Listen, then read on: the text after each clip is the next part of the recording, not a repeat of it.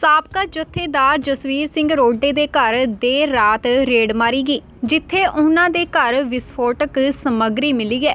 Tiffin bomb ਮਾਮਲੇ 'ਚ raid ਕੀਤੀ ਗਈ ਹੈ। ਜਾਣਕਾਰੀ ਮੁਤਾਬਿਕ ਦੱਸਿਆ ਜਾ ਰਿਹਾ ਹੈ ਕਿ ਉਹਨਾਂ ਦੇ ਘਰ ਟਿਫਨ ਬੰਬ ਤੇ ਅਸਲਾ ਬਰਾਮਦ ਹੋਇਆ ਜਿਸ ਤੋਂ ਬਾਅਦ ਐਨਆਈਏ ਤੇ ਆਈਪੀਏ ਵੱਲੋਂ ਸਾਂਝੀ ਰੇਡ ਕੀਤੀ ਗਈ।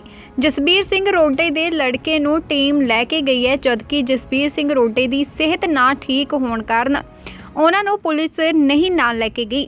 ਅਤੇ ਇਹ ਵੀ ਦੱਸਿਆ ਜਾ ਰਿਹਾ ਹੈ ਕਿ ਜੋ ਵਿਸਫੋਟਕ ਸਮੱਗਰੀ ਮਿਲੀ ਹੈ, ਉਸ ਦੇ ਵਿੱਚ ਉਹਨਾਂ ਦੇ ਬੇਟੇ ਦੀ ਜ਼ਿਆਦਾ ਭੂਮਿਕਾ ਮੰਨੀ ਜਾ ਰਹੀ ਹੈ। ਹਾਲਾਂਕਿ ਐਨਆਈਏ ਨੇ ਇਸ ਦੀ ਪੁਸ਼ਟੀ ਨਹੀਂ ਕੀਤੀ। ਜਾਣਕਾਰੀ ਮੁਤਾਬਿਕ ਇਹ ਵੀ ਦੱਸਿਆ ਜਾ ਰਿਹਾ ਹੈ ਕਿ ਜੋ ਜਸਬੀਰ ਸਿੰਘ ਰੋਡੇ ਦੇ ਭਰਾ ਨੇ, ਜੋ ਪਾਕਿਸਤਾਨ ਦੇ ਵਿੱਚ ਨੇ, ਉਹਨਾਂ ਦਾ ਵੀ ਇਸ ਦੇ ਵਿੱਚ ਹੱਥ ਦੱਸਿਆ ਜਾ ਰਿਹਾ ਹੈ।